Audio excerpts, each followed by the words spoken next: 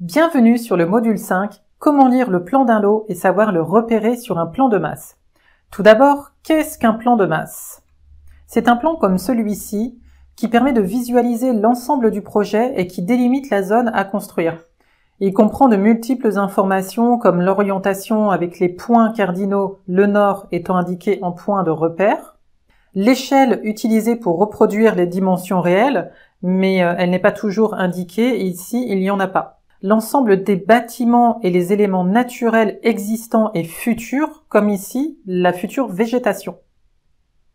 Passons à la lecture du plan. Vous avez d'un côté la description des pièces avec leur surface habitable en mètres carrés et de l'autre côté, vous avez le plan avec les cotes reprenant l'emplacement de chaque pièce, des dégagements et des surfaces extérieures. Vous avez également la largeur et la longueur des pièces qui sont indiquées afin de visualiser le volume et vous permettre de vous projeter. Ici, nous avons sur la droite la surface de l'entrée, du séjour, de la cuisine, de la salle de bain comprenant le WC et de la chambre. Vous avez également sur certains plans une légende qui vous permet un repérage des matériaux et des autres emplacements. Sur ce plan-là, il n'y a pas de légende.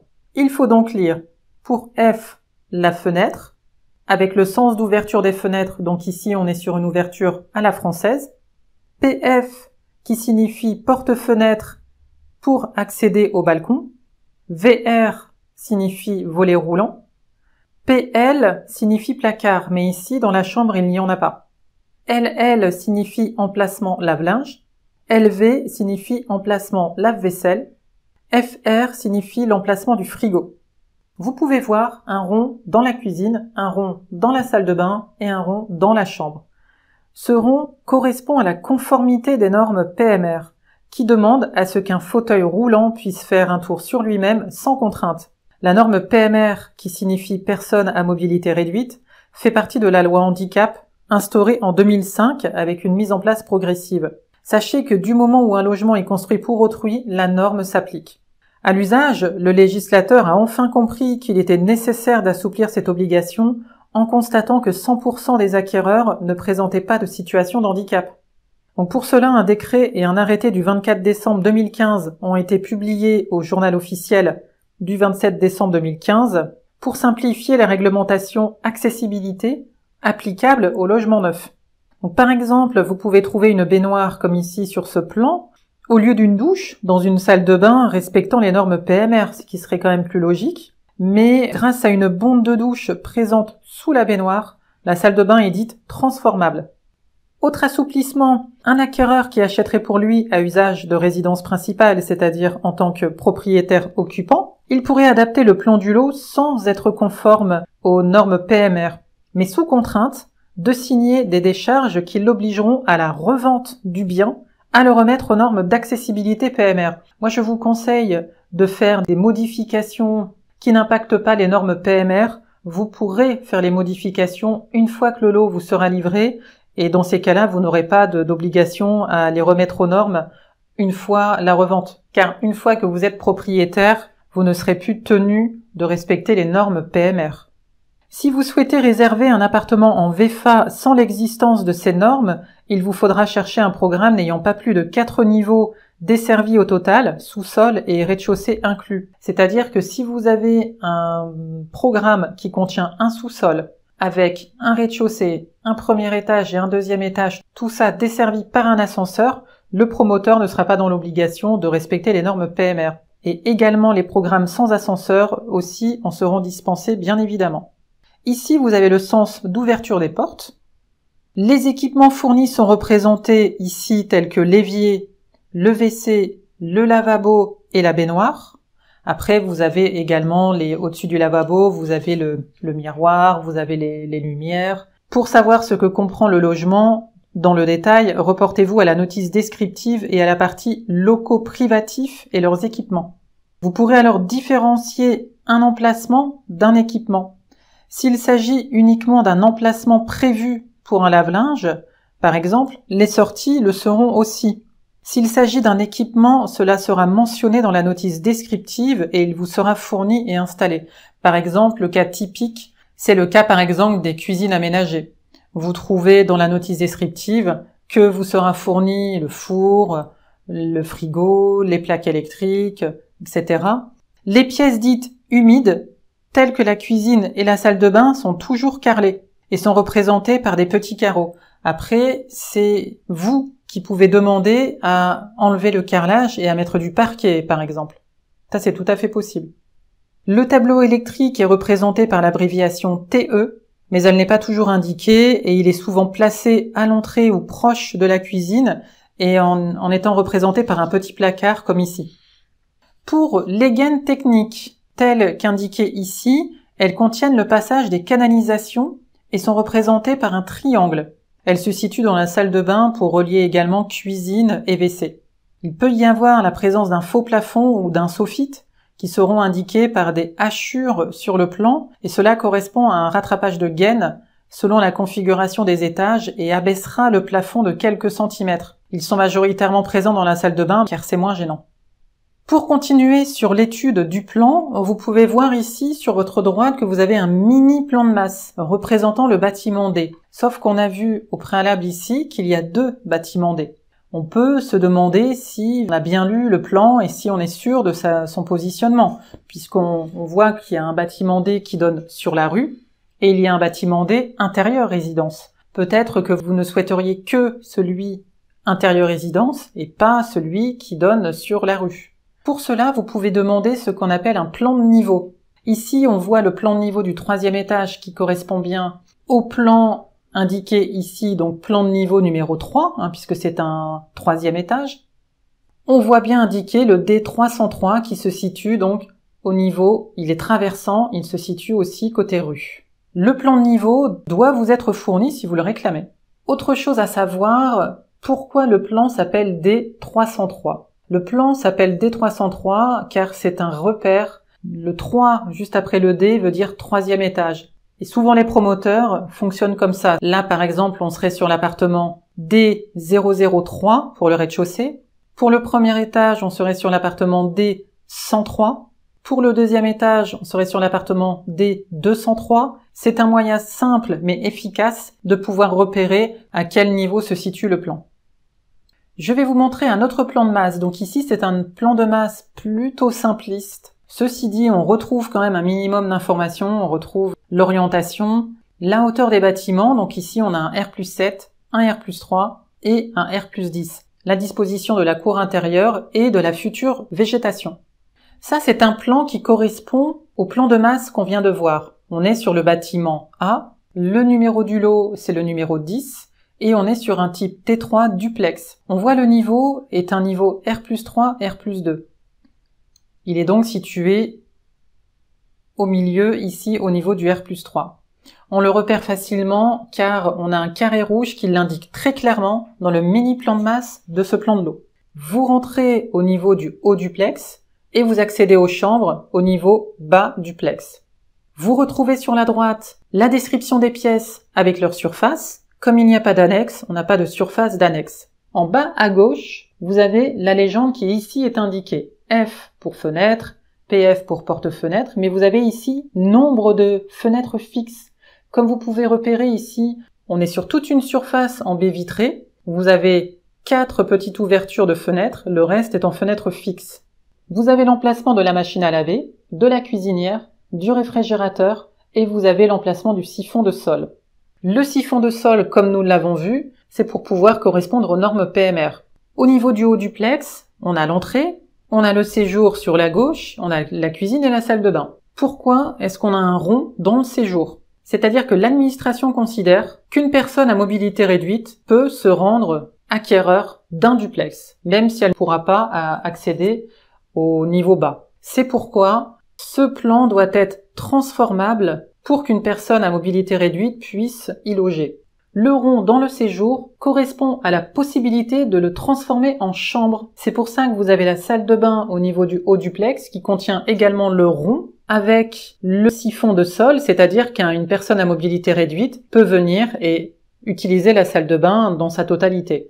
Au niveau bas duplex, vous avez les deux chambres et vous avez la présence d'un placard ici indiqué avec une croix On n'a pas marqué PL, mais en tout cas, ça représente un placard. Vous avez le dressing et vous avez l'indication de la hauteur sous plafond à 2,30 m. C'est-à-dire qu'ici, vous repérez les hachures. Ici, vous avez un faux plafond qui vous est clairement indiqué. Donc, faux plafond en BA13 ou un soffit, euh, voilà comment ça s'appelle. Et vous avez le soffit ici sur le haut duplex qui est installé juste au-dessus du lavabo. Ce qu'il faut savoir au niveau de la majorité des plans que vous allez pouvoir étudier, c'est que le plan ne comporte volontairement pas plus d'indications de mesure comme la hauteur des fenêtres ou la largeur des portes, car les surfaces sont uniquement à titre indicatif. La plupart des plans comportent une note reprenant cette information ou sinon vous le trouverez dans la notice descriptive. Mais ici sur ce plan-là, on a ce type de note. Vous avez ici d'indiquer des modifications sont susceptibles d'être apportées à ce plan en fonction des nécessités techniques et administratives lors de la conception et de la réalisation, notamment pour les dimensions libres, position des baies et équipements. Les surfaces et les cotes données sont approximatives, les éléments de mobilier représentés en pointillés ne sont pas livrés. Les retombées, sophites, faux plafonds, emplacement des équipements sont figurés à titre indicatif. Les surfaces habitables sont conformes au décret du 23 mars 97 hein, avec une hauteur minimale sous plafond, poutre ou soffite égale à 2,10 m. Cela ne veut pas dire que le plan sera totalement différent. Le promoteur n'a aucun intérêt à faire de vous un client non satisfait. Si vous réservez un T2, vous serez livré d'un T2. Il s'agit plutôt d'une tolérance intelligente sur la surface, d'une flexibilité durant le chantier de construction au cas où cela serait nécessaire et dont vous serez bien évidemment informé. Il n'y a pas de règle établie qui détermine le pourcentage de tolérance, cependant, une jurisprudence a indiqué un pourcentage de 5%. Ce taux est pour l'ensemble de la surface en plus ou en moins et non pas pièce par pièce. Vérifiez cette mention dans le contrat de réservation ou dans la notice descriptive. Pour exemple, ici nous avons une surface totale habitable de 75 m 40. Si on déduit 5% de cette surface, on obtient 71 m 80. Et si on rajoute 5% à cette surface, on pourrait vous livrer un appartement au maximum à 79 m 17. Si vous souhaitez modifier quelque chose dans le plan, vous pouvez faire réaliser ce qu'on appelle des TMA, c'est-à-dire des travaux modificatifs acquéreurs. Attention, s'ils ne modifient pas les normes PMR. Sinon, revenez à l'explication de tout à l'heure concernant les dérogations obligatoires. Ils seront acceptés ou non par le promoteur, mais aussi en fonction du succès de l'opération. Si vous vous souvenez, dans le module 3, un promoteur proposait un plan sur mesure pour relancer son attractivité, puisque le programme était déjà sur des travaux en cours, donc c'est une façon pour lui d'être attractif et de proposer une solution pour pouvoir vendre les appartements restants. Les promoteurs sont en général à l'écoute de leurs clients, mais sachez que les modifications demandées si elles occasionnent un surcoût, seront à votre charge. Par exemple, dans le choix des matériaux de sol, si vous souhaitez du chêne massif à la place du parquet stratifié, le surcoût sera pour vous. Il faut savoir qu'il y a toute une organisation déjà orchestrée avec les entreprises, comme les commandes de matériaux, la gestion de stock, et tout cela génère un travail supplémentaire tout en sachant qu'il y aura d'autres clients qui en demanderont. Mais il se peut très bien que le promoteur prenne à sa charge si c'est des petites modifications, peut très bien les prendre à sa charge également, ça c'est pas exclu non plus.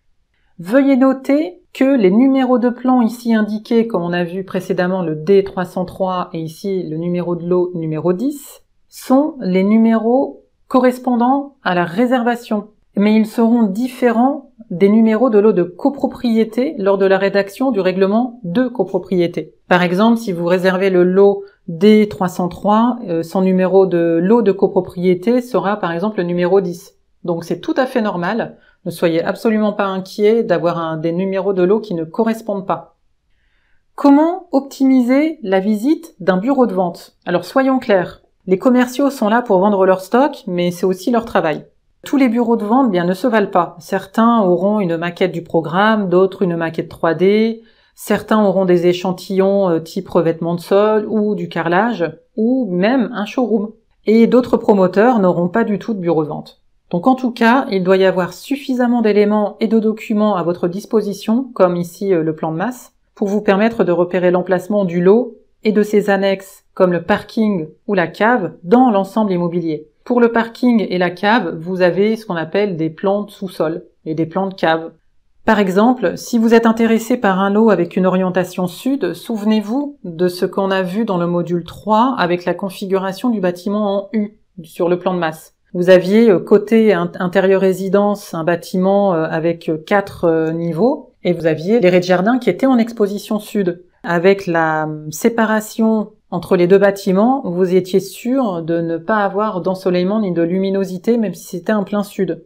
Moi je vous propose une astuce, c'est de vous mettre en situation réelle, c'est-à-dire que vous repérez un bâtiment de quatre étages dans la rue et vous comptez les mètres qui séparent les deux bâtiments grâce à l'échelle présente sur le plan de masse, vous aurez une meilleure appréciation de l'impact du vis-à-vis sur l'ensoleillement du futur appartement. C'est-à-dire que vous prenez votre règle et vous mesurez la distance qui sépare, par exemple, les deux bâtiments, et vous faites le même nombre de pas, donc à dimension réelle, dans une rue vous aurez repéré un bâtiment euh, même hauteur, quatre étages, vous faites par exemple 10 pas et vous vous rendez compte là de la distance du prospect. Et là, vous vous dites, moi, si je projette d'acheter le rez-de-chaussée ou le premier étage, je vais avoir un bâtiment là à mon niveau, c'est rédhibitoire. Ou alors, ça me dérange pas. Demandez aussi si l'entrée des parkings n'est pas située juste en dessous de l'appartement que vous souhaitez acheter, si par exemple vous êtes situé au premier étage. Demandez également si un gardien est prévu et comment seront entretenus les espaces verts communs s'il y en a, car cela aura un impact sur les charges. Les gardiens sont quand même devenus très très rares puisqu'ils augmentent vraiment très fortement les charges.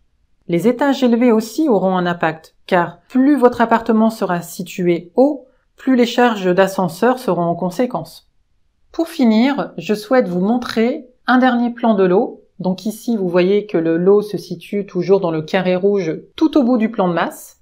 Et ça, donc, c'est un appartement que j'ai pu visiter en appartement témoin et je voulais vous montrer à quoi ressemble un appartement neuf quand il est livré. Alors là, il a été aménagé et décoré spécifiquement par une décoratrice d'intérieur. Nous trouvons ici le vestibule. Pour mémoire, cet appartement fait 27 mètres carrés 50.